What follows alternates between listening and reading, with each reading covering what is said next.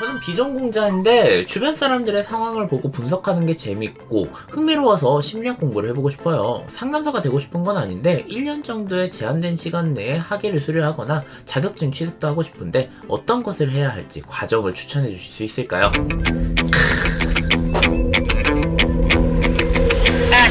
아라님 혹시 저의 그 영상 컨텐츠를 좀 보셨나요? 넌 나에게 모욕감을 아 줬어. 지금 물어보지 않을 사람한테 지금 이걸 물어봤는데 어자 매운맛 들어갑니다 아라님 매운맛 들어갑니다 일단 비전공자가 주변 사람들을 분석하는 게 사람에 대한 이해가 재밌어서 심리학을 공부하는 거는 너무 좋은 일입니다 사람이 자기가 공부하고 싶고 관심사가 생겨가지고 어, 거기에 매진한다고 하면 그건 정말 좋죠.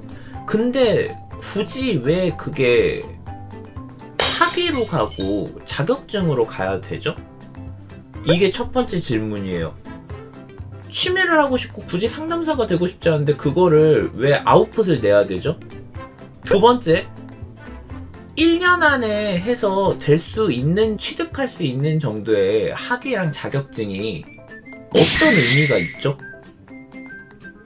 1년에서 마스터할 수 있는 학문이라고 한다면 저는 안 하고 싶을 것 같거든요. 자, 그리고 세 번째. 이거는 팩트인데, 어, 학위 수료하는 것도 가능하고, 심리상담 관련되어 있는 자격증 취득을 1년 안에 하는 것도 가능합니다만, 그렇게 해서 취득이 가능한 학위와 자격증은요, 당연히 전문성이라는 것을 기반하지 않아요. 아니, 딱 1년짜리의 혹은 1년보다 더 짧은, 짧은 시간 내에 딸 수 있는 정도의 깊이를 인증하는 자격증과 학위일 것이고요. 취미로 썼다기에는 별 의미가 없다. 만약 그럼에도 불구하고 딴다고 한다면 짧은 시간에 그런 것을 따고 싶어 하는 어 그 시간 강박적인 열망을 가지고 있는 사람들이 거기에 투자를 할 것이기 때문에 그건 갖고 있는 퀄리티에 비해서 매우 비싼 돈을 요구한다. 그러니 돈은 비싸게 쓰면서 거기에 별로 과실은 없다. 내가 따먹을 수 있는 열매는 없기에 매우 비추한다. 차라리 1년 정도 공부를 하면서 아 이게 내가 알았던 것보다 좀 더 깊구나. 아니면 아 이 정도 공부하면 될 것 같아. 하는 내 안에서 이것의 취향 정도가 어떤 건지를 확실하게 보고요. 그렇게 공부를 해서 어, 괜찮네 싶으면은 본격적으로 해보세요 그리고 아 이 정도면 된 것 같아 한다고 하면 이제 취미로 하면서 다른 것들 찾아가지고 하세요 굳이 취미로 하는 거에 학위와 자격증을 딸 필요는 저는 딱히 없다고 생각합니다. 그럼에도 불구하고 아, 저는 필요한 자격증을 따고 싶어요라고 한다면 네, 제 채널에 자격증이라고 하면 나오는 영상 컨텐츠들이 좀 있을 거거든요. 그 영상들을 몇 개 보시고 판단하시면 좋을 것 같아요.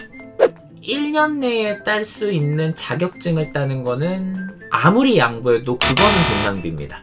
쓸모가 없어요.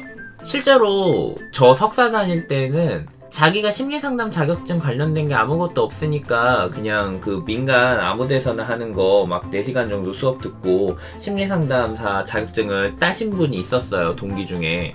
나중에 그 자격증 자기가 스스로 이력서에서 지워버리더라고. 왜냐면 그 자격증을 땄다는 자체가 이 심리상담 바닥을 알고 있는 사람들 같은 경우엔 얘가 지금 이 자격증을 땄다고 한다면은 심리상담에 대한 어떤 그 제대로 된 이해와 존중감이 없단 거잖아. 쉽게 30점. 자격증 딴 사람이네? 하면서 오히려 주홍 글씨가 돼버려요.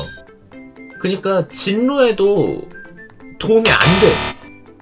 쉬운 자격증 따는 건. 자, 아라님, 심리학의 최종 목적지가 상담사가 되는 것인가요? 아니요. 심리학은 온갖 세상 속에 있는 다양한 심리 현상을 연구하고 이해하고 예측하는 게 심리학의 목적지입니다. 그 중에 어, 응용 심리학으로 상담 심리라는 과정이 있는 거고요. 그러니 심리학에서 상담 심리는 속한 거예요. 속한 거. 심리학이 훨씬 더 커요. 어, 심리 상담만 심리학이라고 생각하시는 거는 상당한 오산입니다. 자, 아라님, 제가 학위나 자격증을 취득하고 싶은 이유는 전공자가 아니기 때문에 향후 관련 업을 하고 싶어질 경우에 경력이 필요할 것 같아서요. 그리고 시간 제약이 있는 이유는 제가 지금 하고 있는 업이 있고 휴식 중이라 그 기간에 대한 제약이 있어서입니다. 오케이. 당연히 취미로 하다가 괜찮으면은 이걸로 한번 제대로 뛰어들어 볼까 인 거죠. 그런 의미에서 있는 게 무엇이냐? 바로 반지심리연구소의 매운맛 컨텐츠예요. 재생 목록 보면서 어, 되게 좀 관심 가는 부분 어, 영상 한 네다섯 개만 봐보세요. 대략 이 심리 상담 쪽은 이런 식으로 돌아가고 있구나를 이해하실 수 있을 거예요. 어, 사실 심리 상담은 늦게 시작하는 분들이 많기 때문에 상대적으로 마음이 급한 분들이 많아요.